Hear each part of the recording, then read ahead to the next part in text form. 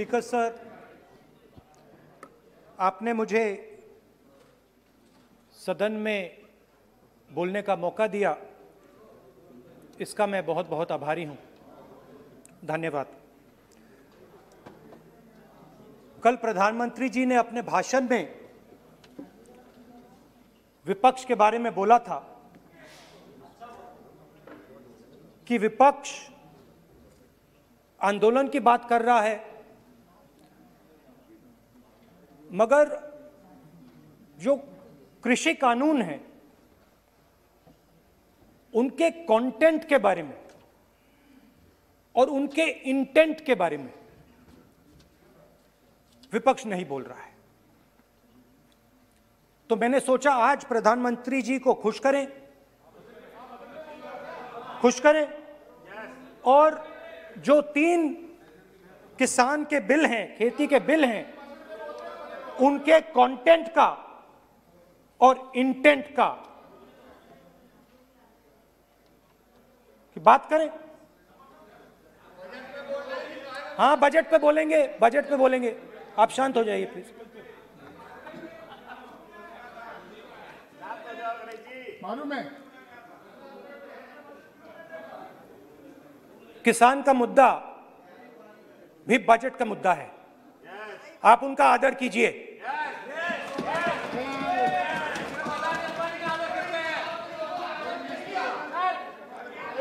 तो तो बात है कि इन तीनों तीन कानूनों का कंटेंट और इंटेंट क्या है? तो पहले कानून का कंटेंट कोई भी व्यक्ति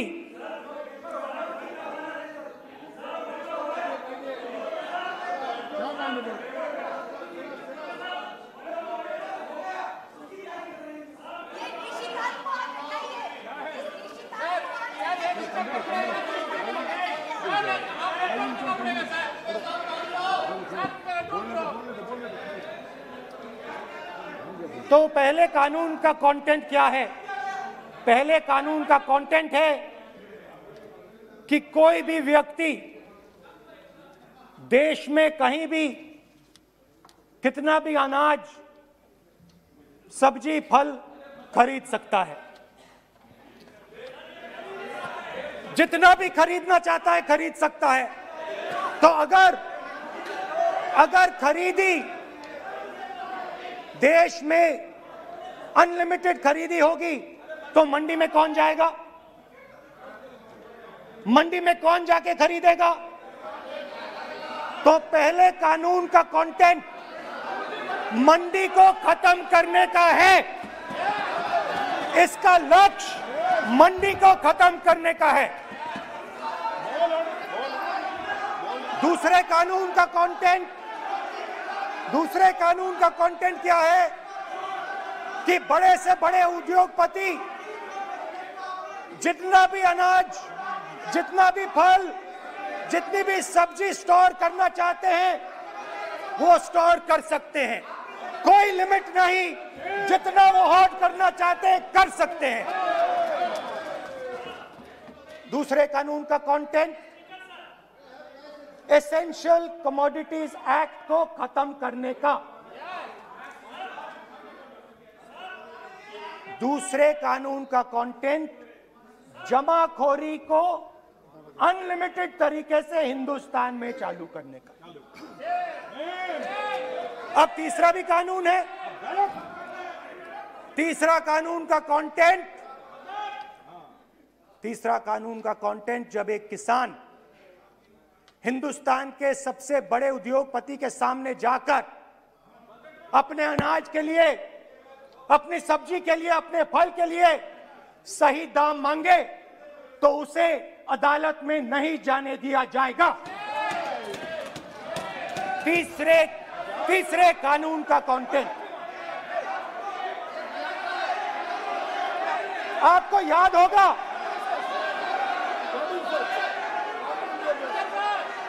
speaker sir Sir, what is Speaker, sir?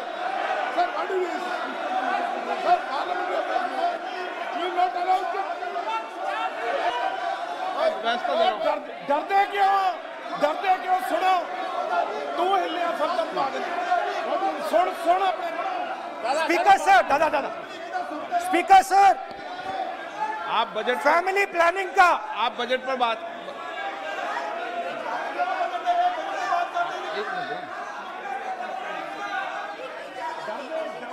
आप सर, सालों पहले सालों पहले फैमिली प्लानिंग का एक नारा था। आपको याद होगा, हम दो, हमारे दो। अब मैं इंटेंट की बात करता हूँ। कानून के इंटेंट की बात। आज क्या हो रहा है? जैसे कोरोना दूसरे रूप में आता है, वैसे ही ये नारा दूसरे रूप में आया है। आज इस देश को चार लोग चलाते हैं। आप बजट पर चर्चा कर लें बजट पर। बजट पे कर रहा हूँ सर बजट पे आ रहा हूँ। चार लोग चलाते हैं। मैंने हम मैंने- दो मैंने बता दिया। और हमारे दो। जैसे उस टाइम उस टाइम नाम सब जानते हैं। नाम सब जानते हैं। नो नो आप बोलो। आप डिस्टर्बेंस मत हम दो हमारे दो। और अबानी ये किसकी सरकार है? हम दो हमारे दो की। माननीय सदस्य माननीय सदस्य इधर। तो आप आसन को पहले कानून का इंटेंट बताता हूँ। आप आसन को संबोधित करें। पहले कानून का इंटेंट माननीय सदस्य आप आसन कि हमारे दो मित्रों में से एक जो सबसे बड़ा मित्र है उसको पूरे हिंदुस्तान के अनाज फल और सब्ज़ी को बेचने का अधिकार। यह है पहले पहले कानून का इंटेंट नुकसान किसका होगा? नुकसान ठेले वालों का होगा। नुकसान छोटे व्यापारियों का होगा। नुकसान जो लोग मंडी में काम करते हैं, लाखों लोग उनका होगा। अब चलिए दूसरे कानून की इंटेंट की बात करते हैं। दूसरा कानून का इंटेंट दूसरे मित्र की मदद करने का है। दूसरे मित्र को पूरे देश में अनाज फल और सब्ज़ी की मनो की मनोबली दी जा रही है। आज दूसरा मित्र 40 प्रतिशत हिंदुस्तान का अनाज अपने साइलों में रखता है। आने ये कांग्रेस पार्टी की बैठक नहीं है। 80% ये सदन है। और अगर बजट में चल साइलोज में रखेगा। ये कोई ये सभा नहीं है। प्रधानमंत्री कहते हैं सर सर मैं आया मैं अध्यक्ष जी मैं मैं अध्यक्ष जी आपको कहना चाहता हूँ जब आपने बजट के लिए चर्चा के लिए पुकारा तो मैं बता रहा हूँ एक मिनट बैठिए मान्य सदस्य प्रधान आज बजट पर चर्चा है। मैं आग्रह करता हूँ प्रधानमंत्री कहते हैं बजट पर ही कि मैंने। ऑप्शन दिया है। हाँ आपने ऑप्शन दिया है। तीन ऑप्शन दिए हैं। पहला ऑप्शन भूख दूसरा ऑप्शन बेरोजगारी तीसरा ऑप्शन आत्महत्या ये तीन ऑप्शन आपने दिए हैं। अब देखिए मामला क्या है? मामला ये है कि हिंदुस्तान का सबसे बड़ा बिज़नेस सबसे बड़ा व्यापार एग्रीकल्चर का है। अब बजट चालीस प्रतिशत चालीस प्रतिशत आबादी इस पे जीती इससे जीती है। चालीस लाख करोड़ रुपए का धंधा है। इसमें किसानों को फ़ायदा मिलता है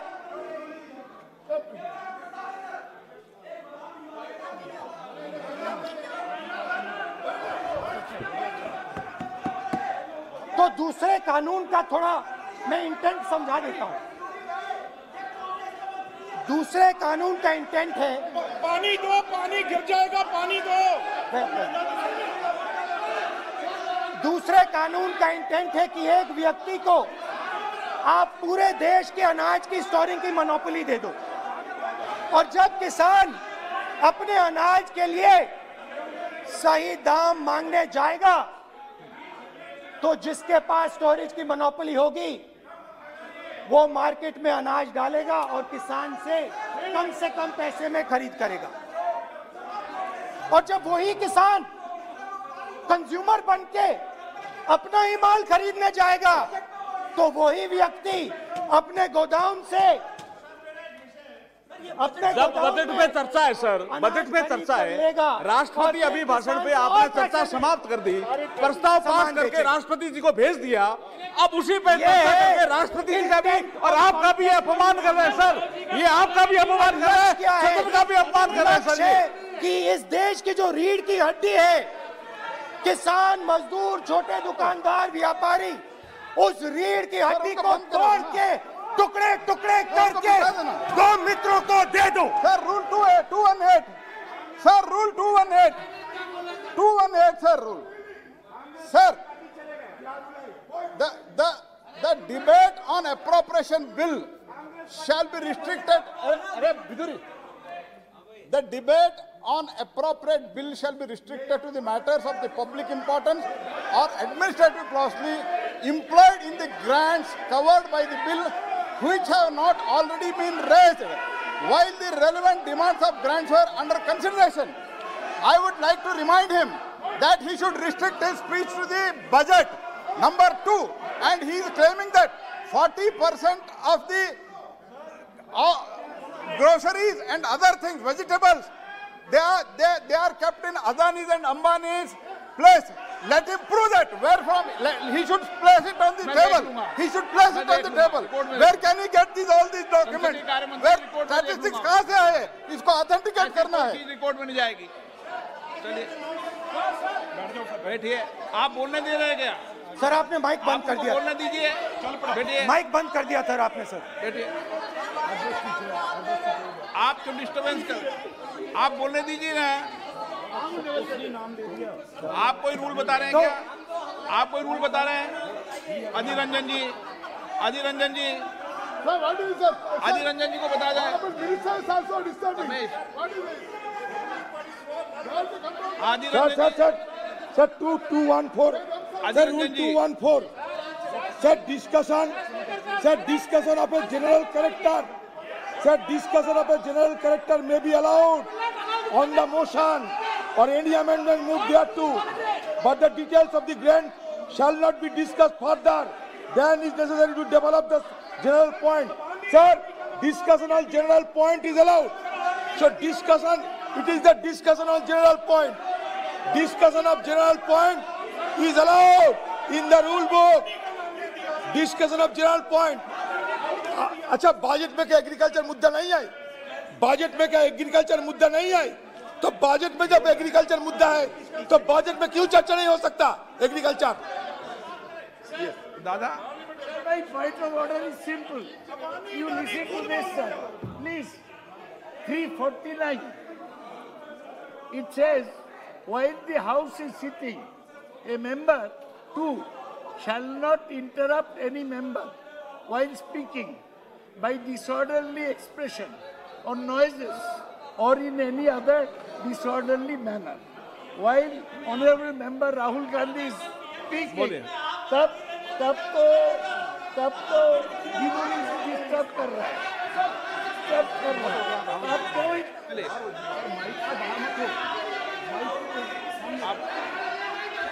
आज ये क्या कल नहीं था क्या कल नहीं था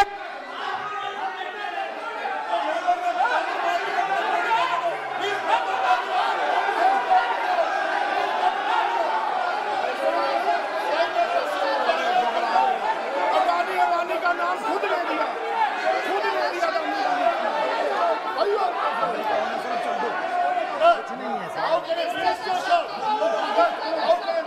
Minister sir shouting.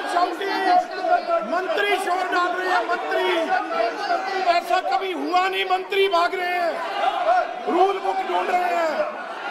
अरे क्यों घबरा गए? अभी तो बोले ही पाँच मिनट है।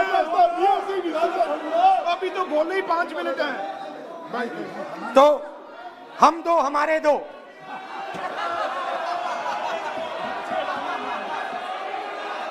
वो आपको याद होगा वो फ़ोटो होती थी चार। हम दो, हमारे दो।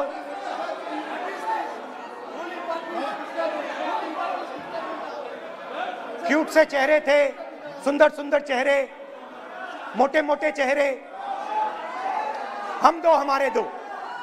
खैर, इससे होगा क्या? जब ये कानून लागू होंगे तो जो इस देश के किसान हैं इस देश के मजदूर हैं, छोटे व्यापारी हैं, इनका धंधा बंद हो जाएगा। इनमें से किसानों की खेत चली जाएगी, किसान को सही दाम नहीं मिलेगा, छोटे दुकानदारों की दुकान बंद हो जाएगी, और सिर्फ़ सिर्फ़ दो लोग, हम और हमारे हम दो और हमारे दो इस देश को चलाएँगे। हिंदुस्तान का फ़ूड सिक्योरिटी का सिस्टम है, वो नष्ट हो जाएगा। और पहली बार, सालों बाद एक बार फिर पहली बार हिंदुस्तान के लोगों को भूख से मरना पड़ेगा। रूरल इकोनॉमी नष्ट हो जाएगी और ये देश रोज़गार नहीं पैदा कर पाएगा। ये नई चीज़ नहीं है। ये आप मत सोचिए कि नया अटेम्प्ट है, पहला अटेम्प्ट है, ये पहला नहीं है। ये काम प्रधानमंत्री ने हम दो, हमारे दो के लिए पहले नोटबंदी में शुरू किया था। पहली चोट नोटबंदी थी। आइडिया किया था, गरीबों से किसानों से, मजदूरों से उनका पैसा लो। बैंक में डालो और हम दो, हमारे दो के जेब में डालो। स्मॉल, मीडियम सेक्टर को खत्म कर दिया। किसानों को बर्बाद कर दिया, वहाँ नहीं रुके, फिर गए। GST Gabbar Singh tax. पाँच अलग अलग टैक्स। और फिर से उन्हीं विचारों पर आक्रमण, उन्हीं किसानों पर उन्हीं मजदूरों पर उन्हीं व्यापारियों पर आक्रमण। फिर कोरोना आता है। कोरोना के समय मजदूर चिल्ला चिल्ला के कहते हैं हमें बस का टिकट दे दीजिए हमें ट्रेन का टिकट दे दीजिए। नहीं नहीं नहीं तुम्हें नहीं मिलेगा। तुम पैदल घर जाओगे। एक मिनट प्लीज़ मगर टैक्स माफ़ ज़रूर होगा। मान्य सदस्य। ज़रूर होगा। पाँच दस उद्योगपतियों का टैक्स होगा। मान्य सदस्य प्लीज़ एक एक एक एक मिनट बैठिए एक मिनट बैठिए मैं माननीय सदस्य से भी आग्रह कर रहा हूँ, इधर भी आग्रह कर रहा हूँ। माननीय सदस्य, आज बजट पर चर्चा है।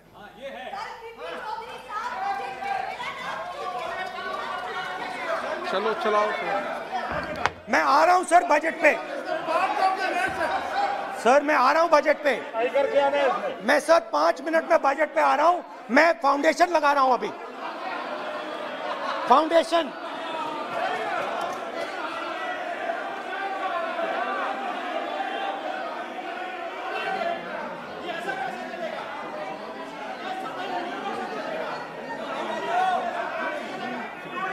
तो पहले नोटबंदी फिर जीएसटी फिर कोरोना के समय उन्हीं चार पाँच दस लोगों को पूरा का पूरा कर्जा माफ़, दस लाख करोड़ रुपए जो भी था कर्जा माफ़। मगर हुआ क्या? हिंदुस्तान हिंदुस्तान का रोज़गार का जो सिस्टम है, जो स्मॉल एंड मीडियम इंडस्ट्री है, वो खत्म हो गई। आज ये देश रोज़गार नहीं पैदा कर सकता है। सीधी सी बात। और आज नहीं, कल भी ये देश रोज़गार नहीं पैदा कर पाएगा। क्योंकि आपने इस देश की रीढ़ की हड्डी तोड़ दी है। किसान की, मजदूर की, छोटे दुकानदार की स्मॉल मीडियम बिज़नेस की रीढ़ की हड्डी तोड़ दी।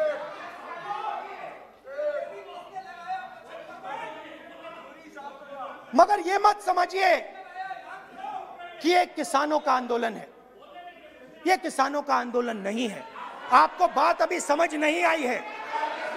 ये देश का आंदोलन है।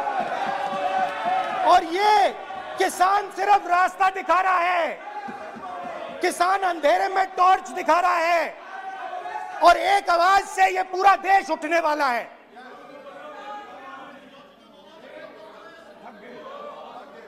पूरा देश एक आवाज़ से हम दो, हमारे दो के खिलाफ उठने जा रहा है।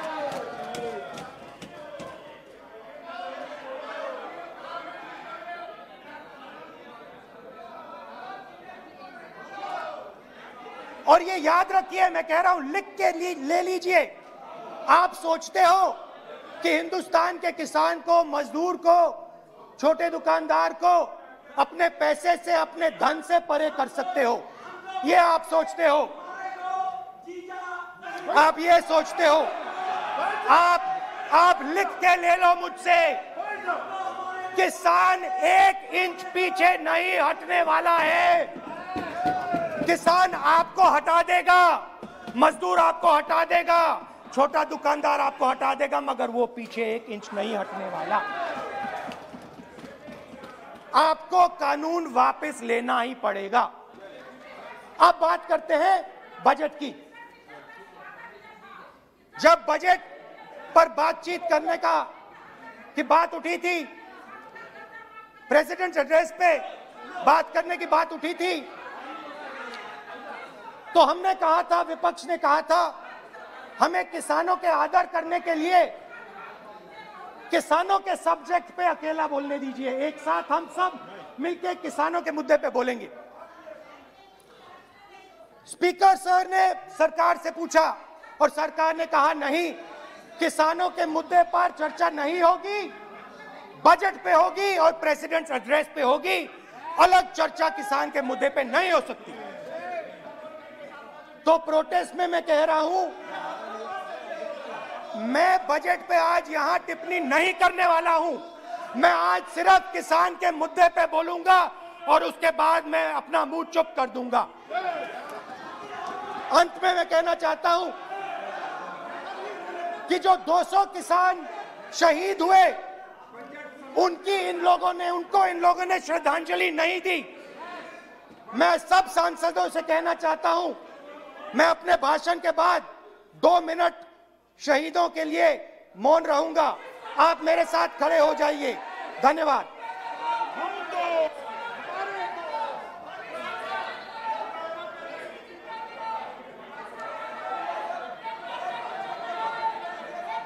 एक मिनट। एक मिनट।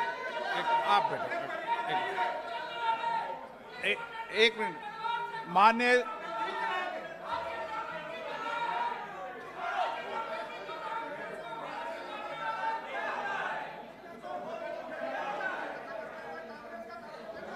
मान्य सदस्यगण मान्य सदस्यगण मान्य सदस्यगण प्लीज़ बैठिए बैठिए बैठिए मनीष बैठिए बैठिए मान्य प्लीज़ बैठिए। मान्य सदन, मान्य सदस्यगण, इस सदन को चलाने की ज़िम्मेदारी आपने मुझे दी है। और कोई भी मान्य सदस्य कहेगा, मैं आज उत्तराखंड के मरे लोगों पर श्रद्धांजलि अर्पित करता हूँ। कोई कहेगा कि, मैं आज बॉर्डर पर मरे श्रद्धांजलि अर्पित करूँ? ये ज़िम्मेदारी आपने मुझे दी है। आप बोल रहे हैं तो